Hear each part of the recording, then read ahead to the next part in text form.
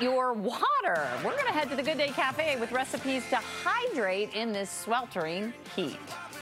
Back with you now at 942 in the Good Day Cafe with temperatures in the 90s this week, feeling like 100 potentially. Uh, we are all feeling the scorching summer heat. And we know that water is key to staying hydrated, but most of us, we don't get enough. we know we need it, we don't drink enough of it. So here to diversify our menu with ways to eat your water is nutrition coach and founder of Culinary Cure, Kristen Coffield. Welcome. Thank you for having me. You're the And, woman of the hour. uh, you know, today just turns out to be the perfect day to talk about the power of hydration. Sounds great. For not just being healthy, but for having more energy. Yes, it's good all the way around. You're wearing yellow I'm to match the lemons. I've I'm got this whole ye- yellow, lemon, yellow and blue theme going on because blue represents water and yellow represents lemons, which can help to alkalize our bodies. Mm. So most people wake up in the morning and what's the first thing they do? cup of coffee for cup of coffee.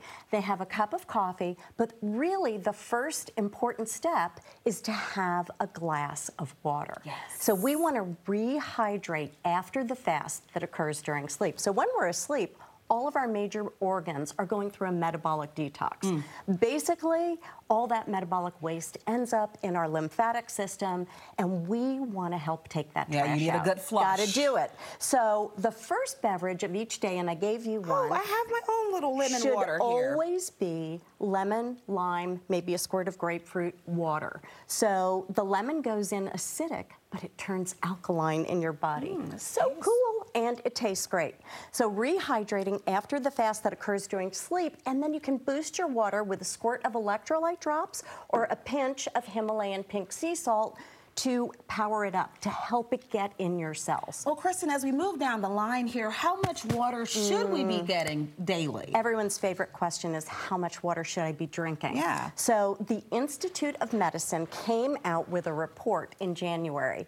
Women should be sipping 98 ounces of water a day Okay. and men 123.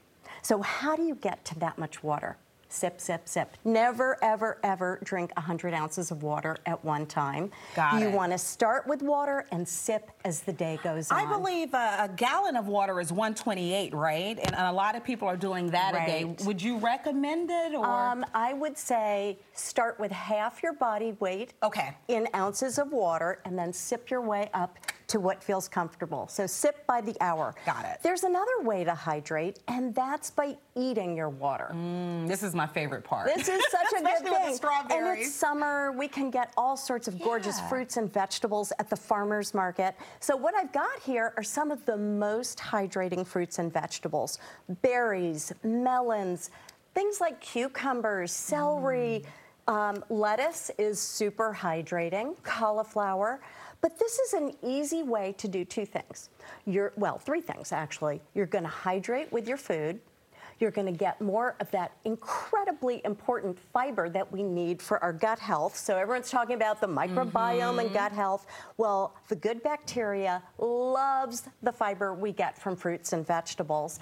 And all those fruits and vegetables help to alkalize our body. So now we're dialing down inflammation. And also add flavor because some people, I have friends who are like, I don't drink water because I, I hate the way it tastes. But if you can add apples or strawberries, melons, cucumbers to it, Make your own make- spa water. And then there's another thing. I've got some herbal tea here at the end. So at the end of the day, well, and if you actually, if you don't like the flavor of water, Uh-huh. just drink herbal tea.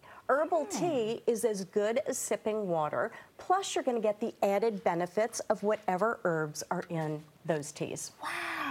Yeah. Okay. Well, sounds good. I mean, you have just a wealth of resources on your site, online. and You, all, you do a lot of fitness too. So, where can people find you? And tell us about this trial that's coming So up. So, what I did before this program was I created a free 14-day hydration program.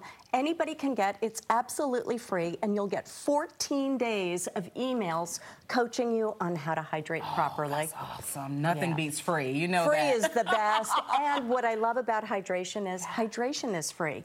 Everyone can do it, and in order to do it better, all you need to do is All start right. with water. So visit me at theculinarycure.com. Sounds great. Well, thank you so much. Thank In my you so 14 days, I guess we'll Starting start today. Start today. We're starting so right much, now. Kristen Coffield.